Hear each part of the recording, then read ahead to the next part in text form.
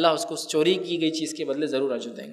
السلام علیکم ورحمۃ اللہ۔ میرا نام سیف خان ہے اور میرا آج کا سوال یہ ہے کہ مان لیجیے اگر مسجد کی کوئی مسجد تعمیر ہو رہی ہے اور میری نیت ہے کہ اس میں میں کچھ مطلب خرچ کروں اور جیسے کہ ابھی آپ نے بتایا کہ یتیموں پر بھی خرچ کرنا چاہیے اور میرے نزدیک میں کوئی یتیم ہے، تو کیا میں اگر یتیم پہ وہ خرچ کرتا ہوں جو میری مطلب میں نے سوچا تھا کہ مسجد پہ کروں، تو ثواب ایکول رہے گا یا مطلب میں نے جو سوچا تھا اسی پہ کرنا ہے، وہ اسی پہ کرنا ہے؟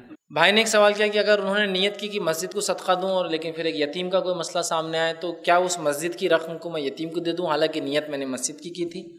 دیکھیے، جہاں تک معاملہ نیت کرنے کا ہے، تو اگر کسی نے کوئی نیت کی کہ میں صدقہ کروں گا کسی چیز کے لیے ہو سکتی، میرے بھائی کو، دوست کو، مسجد کو، مدرسے کو، اسکول کو، کسی آرگنائزیشن کو، کسی تنظیم کو، کسی ایسے ادارے کو جو کتاب و سنت کی فروغ کرتا ہے، قرآن حدیث کی، یہ نیت ہے۔ اگر نیت کی اور وہ بدل لیتا ہے تو اس میں کوئی حرج نہیں، انشاءاللہ۔ اس میں کوئی حرج نہیں، جیسا کہ نیت کی مسجد کے لیے لیکن دے رہے یتیم کو۔ لیکن اگر نظر مانگی تھی کہ میں مسجد کو اگر میرا فلاں کام ہو تو یہ دوں گا، پھر نظر کو نہیں بدلا جا سکتا۔ نظر کو الگ دینا پڑے گا اور پھر یتیم کا اگر کوئی مسئلہ ہے تو اس کو آپ کو اس کو بھی دینا اگر دینا ہے تو، لیکن وہ الگ سے۔ تو جہاں تک معاملہ صرف آپ نے نیت کی کسی کو دینے کی، لیکن آپ کو لگا یہ یتیم تو زیادہ مستحق نظر آ رہا ہے۔ اس لیے کہ الحمد للہ مسجد کو تو کوئی نہ کوئی دے ہی دیں گا ان شاء اللہ لیکن بیچارے اس یتیم کا کیا ہوگا ہے نا؟ اس کا مسئلہ ہے۔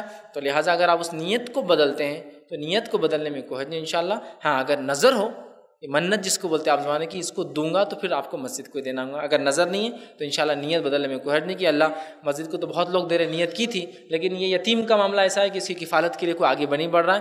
تو میں کہوں گا پھر زیادہ بہتر ہے کہ آپ اس کو دیں۔ اس لیے کہ اللہ کے راہ میں دینے والے اور بھی لوگ ہیں۔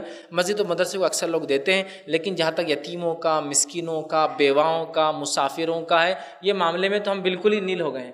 میں دو سال پہلے کسی نے ایک آرٹیکل دیا تھا، ایک ایک نیوز پیپر میں، مشہور نیوز پیپر ہے، اس میں شائع ہوا تھا، صدقات کے حقدار کون کون ہیں ٹھیک؟ تو انہوں نے جب وہ آرٹیکل دیا تو پھر دوسرے نیوز پیپر والے نے ایک بہت اچھا اس کے جواب میں ایک اچھا کالم لکھا تھا اور کہا کہ وہ جس نے وہ آرٹیکل دیا تھا، اس نے پہلی بار ایسی چیز شائع ہوئی تھی کہ مسکینوں کا بھی حق ہے، محتاجوں کا حق ہے، مسافروں کا حق ہے، قیدیوں کا حق ہے، غلاموں کا حق ہے، جن کے دل اسلام کی طرف مائل ہو رہے زکوٰۃ میں ان کا حق ہے، وہ سب اس نے فہرست دی تھی۔ تو انہوں نے ایک آرٹیکل لکھا تھا، شکریہ مولانا غریبوں کو یاد رکھنے کا۔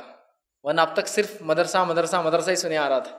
ٹھیک؟ تو یہ بھی حقدار یاد رکھیے ہمارے زکوٰۃ کے، ہمارے صدقات کے، جو مسکین ہیں، مسافر ہے یتیم ہیں، بیوائیں ہیں، معذور ہیں، وہ لوگ جو اسلام کی طرف مائل ہو رہے ہیں، کسی رقم دینے سے وہ آ سک سمجھے نا، ان کا دل مائل ہو سکتا ہے کہ ماشاء اللہ یہ تو بڑی اچھی قوم ہے تو خرچ کرتی ہے لوگوں پر، تو بہرحال یہ بھی وہ مد ہے، زکوٰۃ میں بھی اور صدقات میں بھی ہم نے ان چیزوں کو یاد رکھنا چاہیے۔ اس کے علاوہ میں تو کہوں گا اور آگے بڑھ کر آپ چیریٹیبل ٹرسٹ ڈالیے ہاسپٹلس چلائیے، یہ بھی بڑی اہم چیز ہے۔ اس طرف تو ہمارے دھیان ہی نہیں بہت افسوس کی بات ہے۔ اور کرسچن کمیونٹی کو آپ دیکھیے، عیسائی لوگوں کو دیکھیے، اتنی چھوٹی سی کمیونٹی ہندوستان کے اندر، لیکن ہر جگہ رفائی کام وہ کرتے ہیں، ہر جگہ رفائی کام کرتے ہیں دنیا بھر میں۔